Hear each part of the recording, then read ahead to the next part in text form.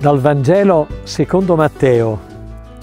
In quel tempo Gesù, vedendo le folle, ne sentì compassione, perché erano stanche e sfinite, come pecore che non hanno pastore. Allora disse ai suoi discepoli, la messe è abbondante, ma sono pochi gli operai.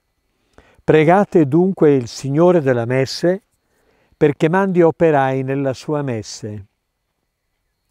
Chiamati a sé i suoi dodici discepoli, diede loro potere sugli spiriti impure per scacciarli e guarire ogni malattia e ogni infermità. I nomi dei dodici apostoli sono primo Simone, chiamato Pietro, e Andrea suo fratello, Giacomo, figlio di Zebedeo, e Giovanni suo fratello, Filippo e Bartolomeo, Tommaso e Matteo il pubblicano, Giacomo figlio di Alfeo e Taddeo, Simone il cananeo e Giuda l'Iscariota, colui che poi lo tradì. Questi sono i dodici che Gesù inviò, ordinando loro non andate fra i pagani e non entrate nelle città dei Samaritani. Rivolgetevi piuttosto alle pecore perdute della casa di Israele. Strada facendo, predicate, dicendo che il regno dei cieli è vicino.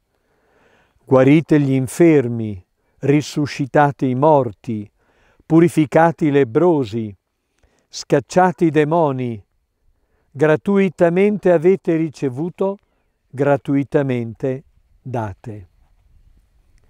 Ecco, torniamo al Vangelo di Matteo. È l'Evangelista che quest'anno liturgico ci ha preso per mano e ci sta facendo conoscere Gesù. Ma avevamo introdotto la lettura iniziata, l'abbiamo interrotta in Quaresima del tempo pasquale e anche domenica scorsa, che era Corpus Domini, avevamo un testo dell'Evangelista Giovanni. Adesso riprendiamo Matteo. Torniamo nel tempo ordinario, ma attenzione, quando diciamo tempo ordinario non fraintendete, non si tratta di un tempo sbiadito, un tempo grigio, con poche punte, poca, poca brillantezza, al contrario, pensate ad esempio al valore che ha il quotidiano, ma anche Gesù. Nazareth, l'abbiamo detto tante volte, togliete Nazareth dal Vangelo, ecco che voi restate senza una parola eh, sulle relazioni familiari, sulle relazioni allargate al proprio borgo, al proprio paese, alla propria città. Eh, se togliete Nazareth, praticamente vi scompare la realtà del lavoro, eccetera, eccetera. Dunque, vorrei dire bentornato a Matteo e incominciamo a rileggere tratti del secondo discorso. Sì, perché Matteo raggruppa eh, tutto il suo materiale attorno a cinque grandi discorsi di Gesù, perché per Matteo Gesù è il nuovo Mosè. Allora, come Mosè, Gesù eh, dal monte parla e come Mosè veniva ritenuto l'autore dei cinque libri, il Pentateuco, così Gesù firma questi cinque grandi discorsi. Il primo, lo ricorderete, ne abbiamo letto qualche pagina, è il discorso della montagna, che è il programma del regno di Dio. Adesso questo discorso che andiamo a a, incominciare a leggere, è dedicato agli araldi del Vangelo. Poi ci sarà eh, il capitolo, il discorso, eh, sui segreti del regno, sono le parabole, le parabole del regno, eccetera, eccetera, fino alla fine. Bene, prima di ogni discorso, eh, Matteo si preoccupa sempre di fare una piccola introduzione dove si vede tutta la potenza di Gesù, ma attenzione, una potenza salvifica. E lo vediamo anche qui. Ecco, Matteo, immaginiamo anche la scena, eh, ritrae Gesù mentre guarda la gente che si è radunata attorno a lui. Tanta folla, dice il Vangelo, tanta folla, come una moltitudine, sono le spighe di grano che fanno pensare a Gesù una identità. Eh, vede la messe e tutta questa folla coi suoi problemi.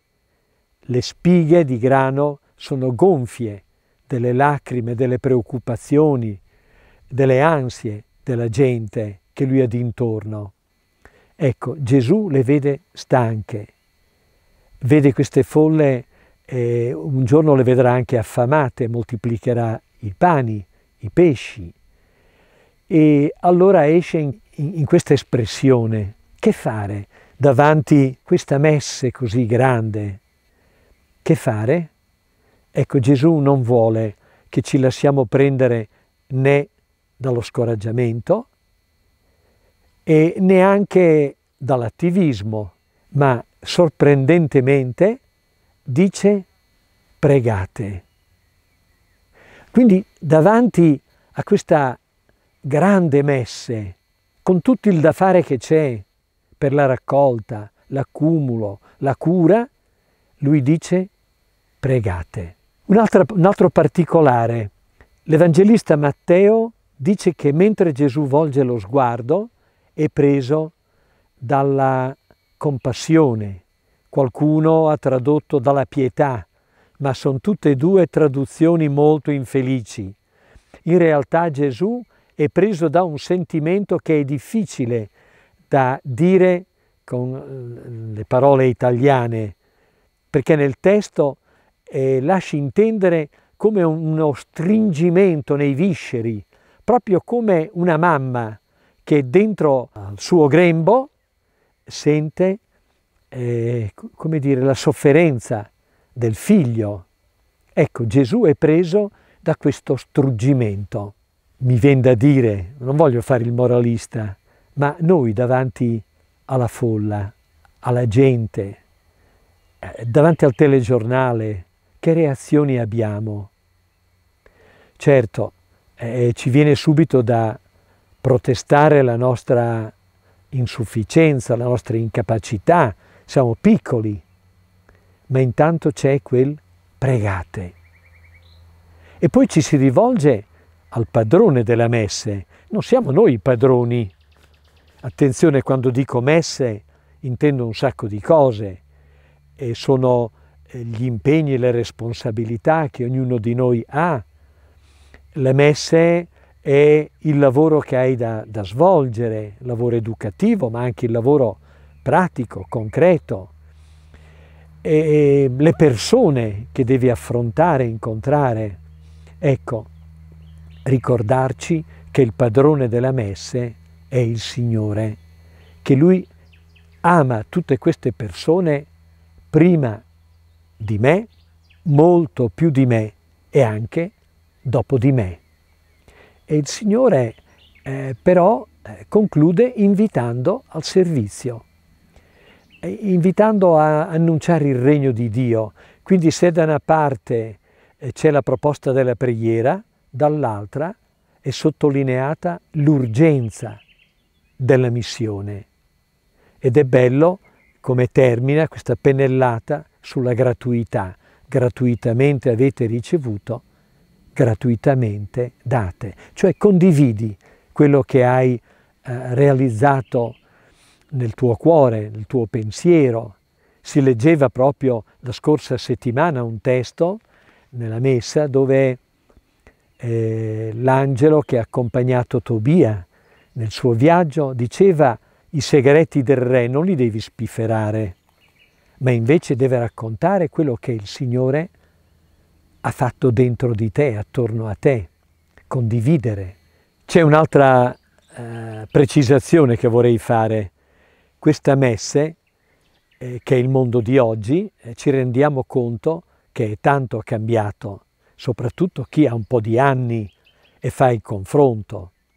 Allora che rapporto possiamo avere con il mondo che è cambiato? deve essere un rapporto di missionarietà.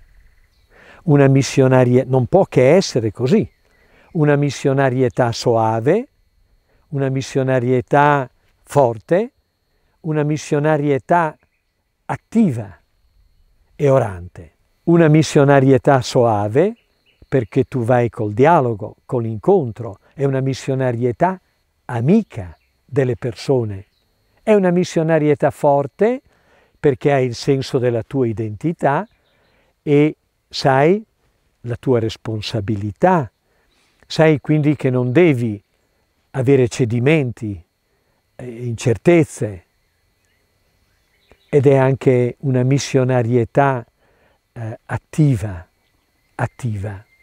È indossare il grembiule, una chiesa del grembiule, diceva Don Tonino Bello, del servizio, testimonianza che è fatta soprattutto di vita. E poi mi sovviene, leggendo il Vangelo, che eh, Gesù dice, strada facendo, quante volte abbiamo trovato questa forma? Eh, ricordo che la studiavamo anche a scuola perché c'è un'irregolarità grammaticale, odon poiein, fare strada, e dice predicate. Va bene, è un'attività mediante parola, cioè dicendo che il regno dei cieli è vicino. Poi leggo, guarite, guarite gli infermi, risuscitate i morti, purificate i lebrosi, scacciate demoni.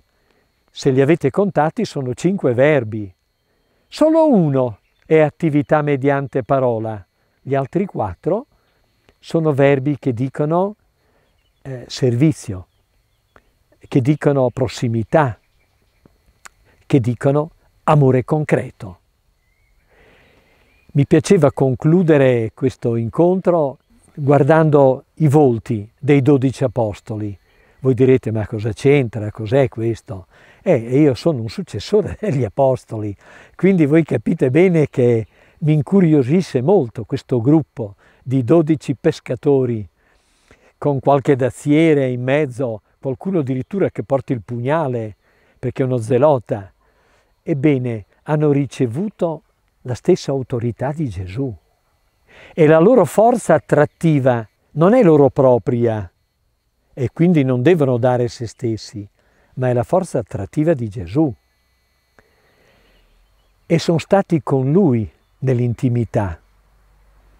Ricordo quando ero ragazzino, nel paese vicino al mio c'era un grande cinema e talvolta si andava di là, dal Po, attraversando il ponte, il paese si chiamava Ficarolo, e dava un, un, un dramone di quell'epoca, siamo negli anni 50, ed era il film Marcellino Panevino. Mi aveva molto colpito il protagonista, questo bimbo, che in soffitta scopre un crocifisso, gli diventa amico, arriva fino a appoggiare una scala per andare su, guancia a guancia, cuore a cuore con il crocifisso. Beh, vi dico che quell'immagine mi accompagnò nella mia infanzia e mi sembrava talvolta che pregare non era altro che quello e mi sembrava anche di sentire il battito del cuore di Gesù, il suo fiato, il suo desiderio di raggiungere tutti che facciate tutti anche voi e che torni anch'io a farla di nuovo questa esperienza di intimità missionaria con Gesù. Ciao!